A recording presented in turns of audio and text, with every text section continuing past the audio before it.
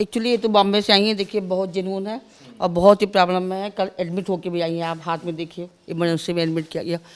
और ये लेडी को सब जानते हैं कि बहुत ही गड़बड़ है ये। और हम लोग इसीलिए लगे हैं किसी तरह इनको एंट्री मिल जाए। हम लोग बहुत खुद परेशान हैं इनसे ज़्यादा जबकि हम लोग कुछ नहीं जानते थे इनके बारे में। रिटायर क्या है? लोग आप लोग मदद कर रही हैं कि यहाँ बाहर रहने नहीं नहीं जुनून की मदद कर रहे हैं हम तो जानते भी नहीं थे इनको। कौन है? लेकिन आप देखिए क्या हालत है इनकी कि हमको रोना आ रहा है। हम नहीं समझ पा रहे। यहीं बैठे रहती है दिन भर। खाना होटल से आप देखिए, कल पड़ा सा यहाँ।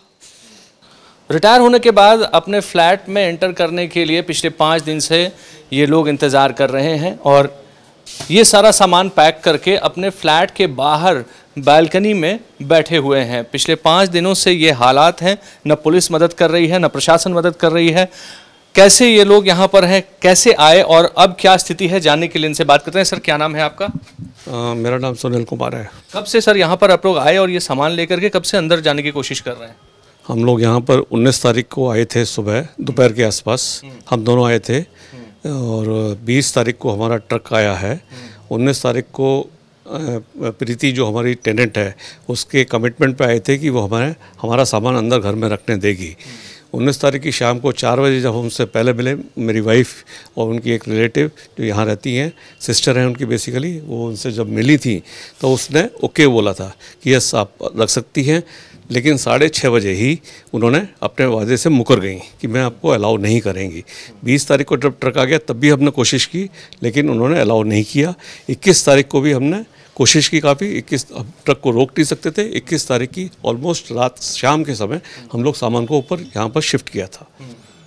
कब से मैम ये कब से इन लोगों ने किराए पे आपका घर लिया था और इनका रेंट एग्रीमेंट कब लैप्स हो गया? इन्होंने जुलाई जुलाई इलेवन से हमारा घर लिया था ट्वेंटी वन जुलाई सो वो उनका रेंट एग्रीमेंट ख़त्म होता था ट्वेंटी टू अगस्त अगस्त tenth August twenty two tenth June sorry sorry I am so sorry tenth June twenty two फिर से बता दीजिए। कब कब शुरू हुआ था रेंट एग्रीमेंट और खत्म हुआ? उनका एलेवंथ जुलाई ट्वेंटी वन से एग्रीमेंट था एलेवन मंथ्स का up to June tenth June twenty two फिर इन्हें हमने एक नोटिस दिया था प्रायर नोटिस दिया था टू मंथ्स पहले लीज़ ख़त्म होने के दो महीने पहले अप्रैल में कि अभी आपकी लीज़ ख़त्म होने वाली है। प्लीज़ आप प्रीति, दूसरा घर देख लीजिए। हमें क्योंकि शिफ्ट होना है। तो उन्होंने बोला थोड़ा ओके बोला, मगर ऐसा नहीं लगा हमें कि वो एकदम से विलिंगली बोल रही हैं। फिर उन्होंने थोड़ी सी उनसे साथ बातचीत हुई तो उन्होंने कहा ठीक है हम देखते हैं हाँ, मैं ढूंढ रही हूँ मिल जाएगा तो छोड़ दें हम खाली कर देंगे।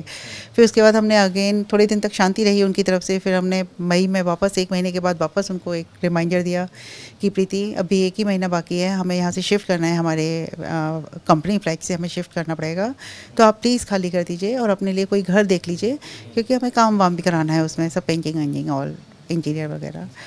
तो उन्होंने कहा कि उनका जवाब आया कि नहीं, अभी तो बहुत गर्मी है this summer is not possible so I was shock कि this summer what is the meaning of this summer summer तो भी, हम लोग भी तो समर में शिफ्ट होने वाले हैं तो समर इज़ नॉट मतलब ऐसा क्राइटेरिया नहीं है कि भाई नहीं शिफ्ट कर सकते। फिर उन्होंने कहा कि नहीं, मेरा बेटा भी बीमार है। फिर ऐसे करके उन्होंने अलग अलग अलग अलग एक्सक्यूज़ उन्होंने दिए, जो एक्चुअली मुझे सही नहीं लगे। मेरे को लगा कि ये तो कुछ ठीक नहीं लग रहा है।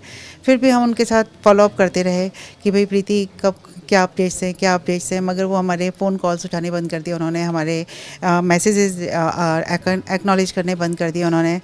फिर ऐसा करके मई से जून आ गया।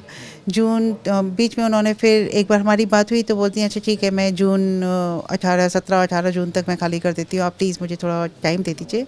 हमने कहा, ठीक है, मगर आप एक दिन एग्जैक्ट डेट बताइए कि आप कब खाली करने वाली हैं, जिससे हम यहाँ से अपना पैकअप करके वहाँ पे भेज सकें। तो उन्होंने कहा ठीक है आप सत्रह अठारह के बाद के आसपास जो भी वीकेंड पड़ेगा आप उसमें कर दीजिएगा। तो 19th June was the date she's committed on the mail. He, I will uh, clear uh, vacate the flat on 19 June. तो अब 19 जून के बाद भी उन्होंने खाली नहीं किया। अंत में आपको कैसे ये मजबूर होना पड़ा ये सारा सामान लेकर के यहाँ पर? नाइन 19 जून के बाद जब नाइनटीन जून की शाम को ही जो पहला कमिटमेंट था कि 19 जून कर देंगे उस दिन शाम को कमिटमेंट वो बोलती हैं कि हम मैं अभी खाली नहीं करूँगी क्योंकि मेरा कुछ इश्यूज़ है कई बार में उन्होंने हमारे फ़ोन कॉल और आपने तब तक आपने पैकिंग करके सामान यहाँ रिलोकेट करना शुरू कर वो बता रहे हैं। 25 तारीख तक का टाइम मतलब हमने सोचा था कि जब वो बताएगी तो हम 25 तारीख के आसपास हम ट्रक शिफ्ट करा देंगे क्योंकि मंथ एंड तक हमें यहाँ पे आना था वो चार पाँच दिन लेता है ट्रक हम भी आ जाते थे। उनको हमने, जब उन्होंने कुछ आंसर नहीं किया अपडेट्स नहीं दिए तो हमने उनको कॉल किया। दो दिन हमने लगातार कॉल किया, उन्होंने कॉल नहीं उठाए। फिर 20 तारीख के आसपास उन्होंने सिर्फ़ हमें एक मैसेज दिया कि आई मीन देहरादून। सो हमने कहा, भाई, देहरा, कब वापस आओगे? मगर उन्होंने उसको भी एक्नॉलेज नहीं किया। तो यहाँ पे हमारे एक ब्रदर रहते हैं रिलेटिव तो उनको हमने कहा कि प्लीज़ आप जाके देखिए, वो ट्वेंटी सेकेंड का डे था ट्वेंटी सेकेंड ऑफ़ जून तो यहाँ पे आके उन्होंने यहाँ से बात की इनसे आके कि, भाई, प्रीति, क्या बात है? तो उन्होंने, पहले तो वो उनके साथ कोई तो था, कोई लेडी थी जो गंदे से बात किया, उनके साथ बहुत बदतमीज़ी से बात किया कि आप तो ओनर नहीं हैं, आप उनके बिहाफ पे कैसे बात कर सकते हैं? कब बात करना है तो ओनर ही बात करे आके। तो ये तो कोई बात नहीं है हम फ़ोन पे बात कर सकते हैं या फिर हम डायरेक्ट ऐसे तो नहीं बार बार आके बात कर सकते। तो उन्होंने कहा, देखो, वो तो वहाँ रहते हैं, अब मैं उनका ब्रदर हूँ, उनके बिहाफ पे मैं बात करना चाहता हूँ तो आप प्लीज़ बताइए। तो जैसे तैसे उस लेडी को शांत करके, प्रीति से उन्होंने एश्योरेंस लिया कि भाई वो एक रूम हमें दे देगी यहाँ पे सामान रखने के लिए। अच्छा। सो हम अपना सामान उसमें रख के और थोड़ा सा हम एडजस्ट करें उसके साथ। तो अ, उनका मैसेज हमारे पास गया कि हम एक रूम दे देंगे आप थोड़ा सामान उसमें रख लीजिए। तो उसकी रिवर्ट बैक मैंने उनको थैंक्स गिविंग के लिए किया कि thank you so much for responding us मतलब इतने समय के बाद आप आपने हमें एक्नॉलेज किया है। तो मगर प्रीति डिफ़िकल्ट कि हमारा सामान बहुत ज़्यादा है, एक रूम में नहीं आ पाएगा। आप चार पाँच दिन और ले लो। आप मतलब हमारे रहते हुए चार पाँच दिन में करने वाली थी तो आप हमसे पहले ही आप चार पाँच दिन ले लो और आप पूरा घर हमें दे दीजिए खाली करके, जिससे हम सामान रख सकें। तो उनका कुछ ऐसा जवाब नहीं आया उसका। कुछ ऐसे रिवर्ट बैक नहीं आया। तो आप लोग पुलिस के पास गए कंप्लेन किया, क्या हुआ उसके बाद? पुलिस के पास गए तो ऐसा कुछ उन्होंने अच्छे से एंटरटेन किया हमें और हमें हेल्प करने की कोशिश भी की मगर उनके उन्होंने कहा कि उनके कुछ दायरे हैं तो उनका कुछ सल्यूशन तो नहीं निकला। सो so, हम लोग सबसे मिले जिस मिस्टर जीसीपी से मिस्टर एसीपी से और मिस्टर जीएम से और हम बहुत लोगों से मिले। हम लोग को बहुत बाउंस किया गया इधर से उधर।